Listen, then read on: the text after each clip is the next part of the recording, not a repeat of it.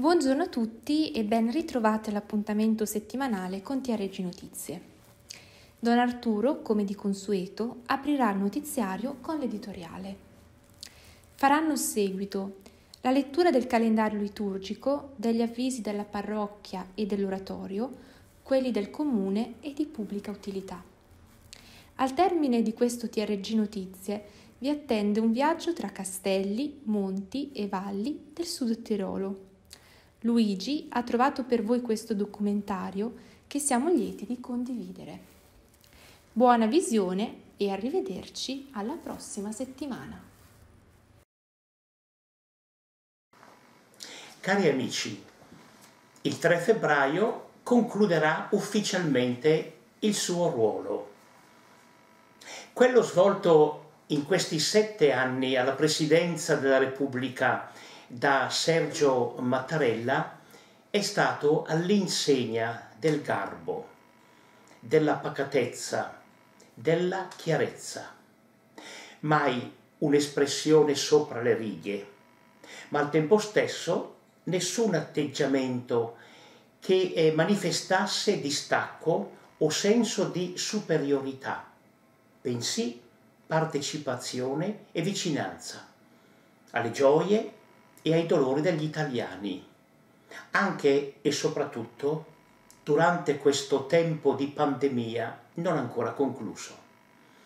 Uno stile che la grande maggioranza dei cittadini ha apprezzato, come dimostrano i sei minuti di ovazioni attribuitigli lo scorso 7 dicembre in occasione della prima alla Scala di Milano. Il suo messaggio di fine anno agli italiani è stato un invito, in primis ai giovani, a pensare positivo, a non scoraggiarsi nei momenti di difficoltà e di fatica, che pure ci sono, a guardare al, fiduci, al futuro con fiducia.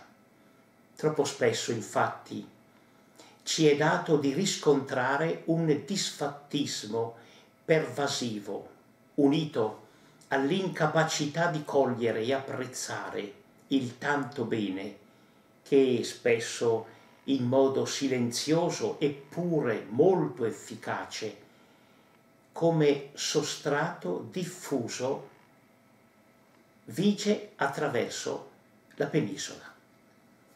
Il capo dello Stato ha ringraziato gli italiani per aver mostrato a più riprese il volto autentico del nostro paese, quello laborioso, creativo e solidale. Ho percepito accanto a me, ha evidenziato il Presidente, l'aspirazione diffusa degli italiani a essere una vera comunità, con un senso di solidarietà che precede e affianca le molteplici differenze di idee e di interessi. Occorre però mantenere vivo il senso di responsabilità personale, perché, sono sempre parole del presidente Mattarella, il destino dell'Italia dipende anche da ciascuno di noi. Da qui la sottolineatura che dalle difficoltà si esce soltanto se ognuno accetta di fare fino in fondo la propria parte.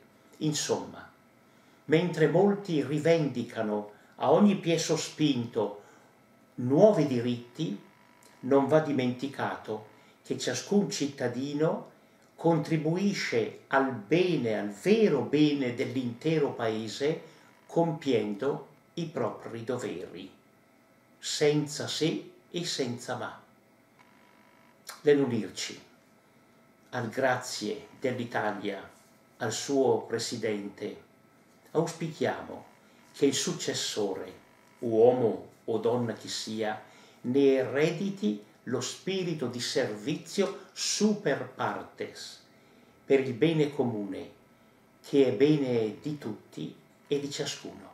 Speriamo bene. Con l'augurio di una serena domenica, e di una positiva settimana auguro una buona continuazione del nuovo anno. Arrivederci.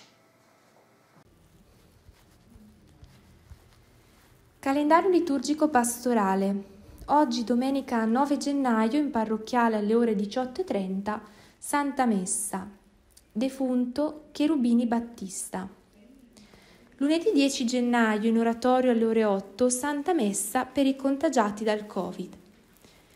In oratorio alle ore 18.30 Santa Messa. Defunti Boffelli Giovanni e Teresa. Martedì 11 gennaio, in oratorio alle ore 8, Santa Messa per le famiglie in difficoltà.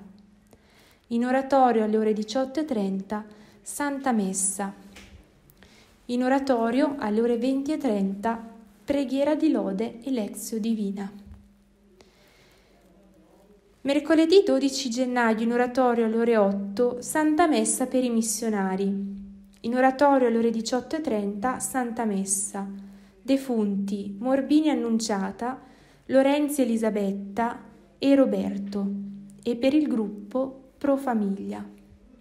Giovedì 13 gennaio in oratorio alle ore 18.30 Santa Messa, defunti Biazzi Nicola e secondo le intenzioni di una persona. Venerdì 14 gennaio in oratorio alle ore 8 Santa Messa per i cristiani perseguitati in oratorio alle ore 15, Coroncina della Divina Misericordia. In oratorio alle ore 18.30, Santa Messa, defunto Agnelli Franco. Sabato 15 gennaio in parrocchiale alle ore 18.30, Santa Messa, defunti Nadia Manfredi, Paolo Biazzi, Isa Tironi, Luigi Castellini, Tironi Marilena, Severo e Marietta. Domenica 16 gennaio in parrocchiale alle ore 8 Santa Messa. Defunti Piero e Nerina Doninelli. In parrocchiale alle ore 10 Santa Messa pro Populo. In parrocchiale alle ore 18.30 Santa Messa. Defunti Tedeschi Giuseppina, Percivalli Giuseppe, e famiglie Doninelli e Bianchi. Novità. Aiuto compiti e laboratori fuori classe per ragazzi dalla terza primaria alla terza media, martedì e giovedì pomeriggio, in oratorio a partire dal gennaio 2022. Le iscrizioni proseguono per tutto gennaio. L'inizio martedì 18 gennaio alle ore 14.30. Info presso Don Nicola o Sonia Marchioni. Domenica 9 gennaio, raccolta mensile per il restauro della parrocchiale alle ore 16, inizio percorso fidanzati in San Girolamo. Presso l'altare della Madonna del Carmelo, in parrocchiale, sono disponibili coppie dell'ultimo redone.